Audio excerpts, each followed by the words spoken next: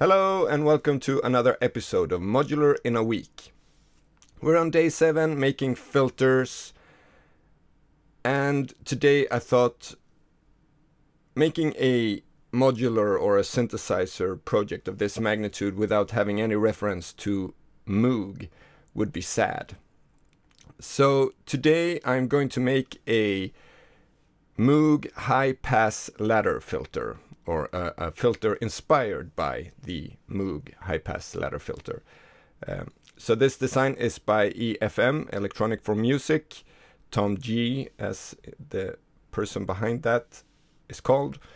Um, and this is has also been on my to-do list for about 20 years, so I, I wanted to do, make this filter a long time. And so the previous week I've been doing that, and um, it didn't work out of the box. And if you look around in the DIY community, you'll find that many of, of uh, EFM's designs have a few quirks uh, or a few misses in the schematics that makes them not work out of the box. But with very nice and fast help from the synth DIY community, they pointed me in the right direction just like that and I got the circuit running. So again, uh, it's a very nice community, the uh, Synth DIY. Very helpful. Uh, so make sure that you, when you download the schematics, if you do that, that you add the extra two components that I add in this video. I also want to say thank you to my supporters over on Patreon who, uh, by supporting me, help me make these videos.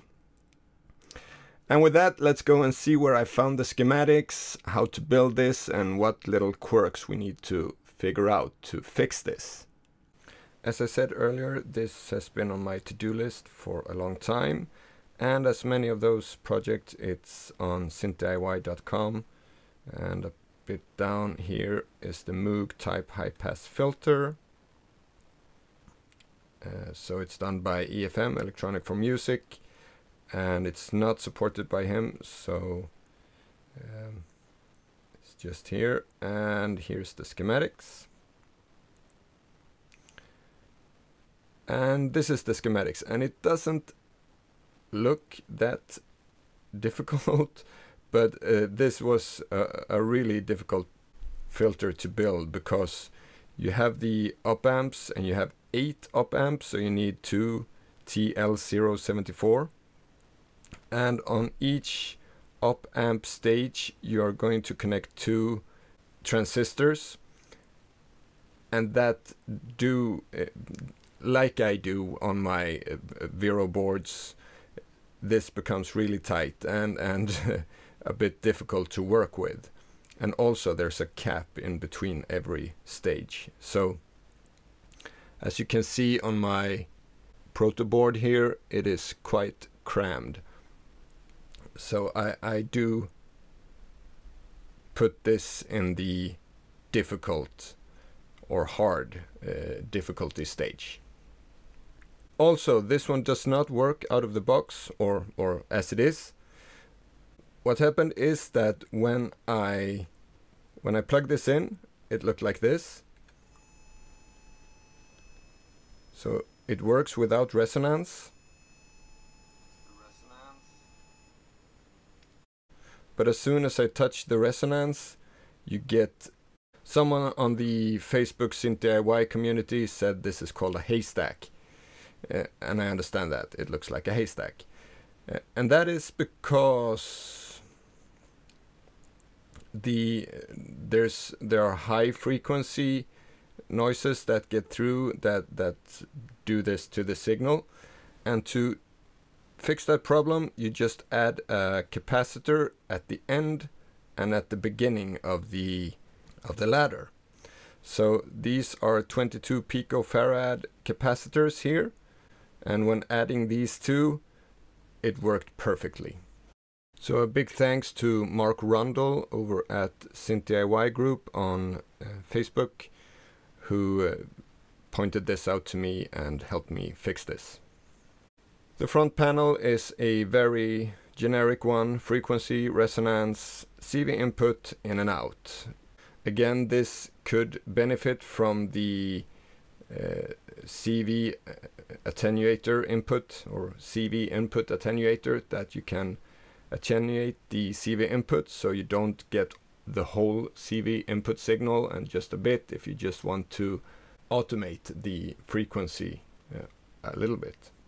But I don't have that here. Uh, that is a very nice addition to most of the modules I've built so far. As I said, this one is hard. It's a really difficult build uh, because of all the components that need to be very close to each other. And as you can see, there are 54 components in this one build. So one of the more difficult ones I did. It took me three hours on and off to do this. Uh, I didn't do it in one uh, full session. I, I divided it down in a few sessions, which in total took three hours.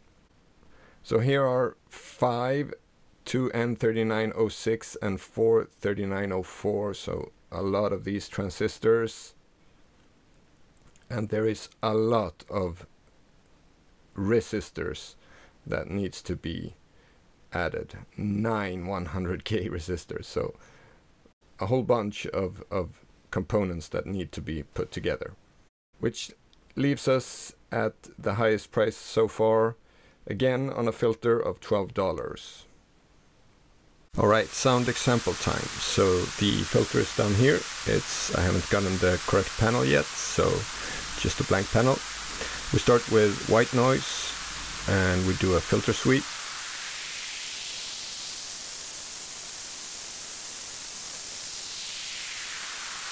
And then we add full resonance. Ah, so you hear that whistling?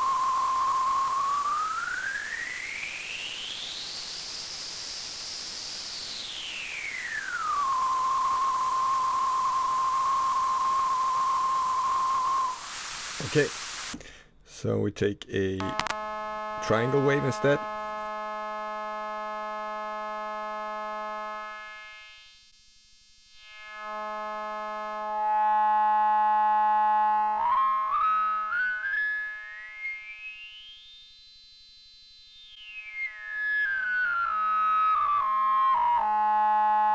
Very screaming filter, this one as well.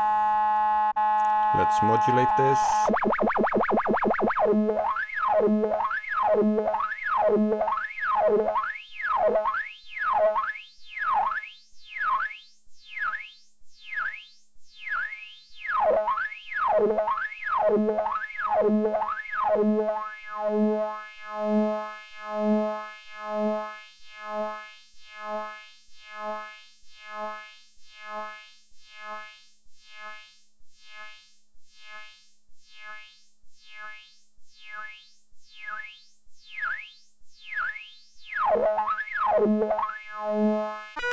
Let's connect the sequence with the attack decay module.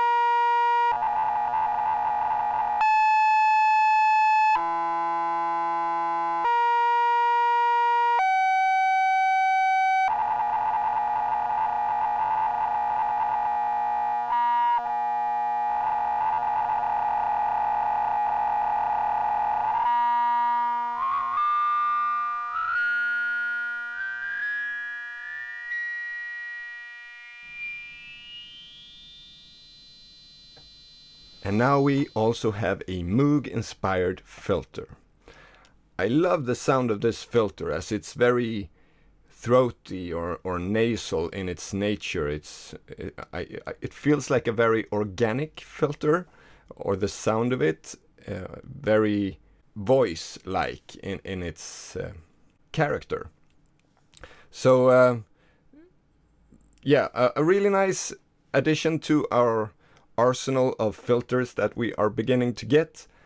And with that, there is only one filter left, and it was I, I found that just recently, and it is there are so many filters out there, and and sometimes you need to uh, put an end to everything. Also, this series, so therefore, the next episode and the next filter will be the last one in this series, and we'll concentrate on a few other things for a while.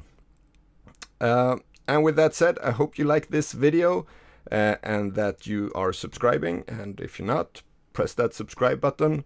Uh, if you have any comments, thoughts, questions, leave them below. Let me know what you thought of this filter. Uh, it's if you liked it or not. And until next time, take care. Bye.